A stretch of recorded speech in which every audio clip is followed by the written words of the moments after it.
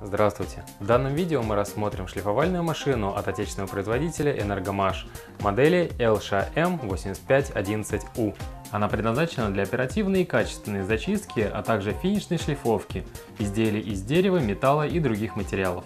В движение ее приводит мощный 1100 ваттный движок, который раскручивает шлифленту от 120 до 380 метров в минуту в зависимости от выбранной скорости. Данный инструмент использует шлиф ленты размерами 7,6 на 533 мм, замена которой не займет много времени благодаря быстросъемной системе и легкой ее центровке.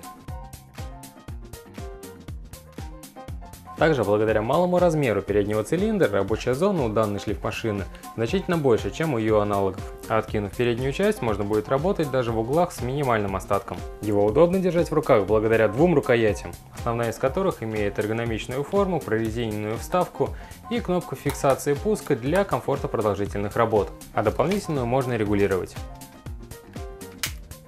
Для чистоты на рабочей поверхности у него имеется система пылеотвода с возможностью подключения пылесоса.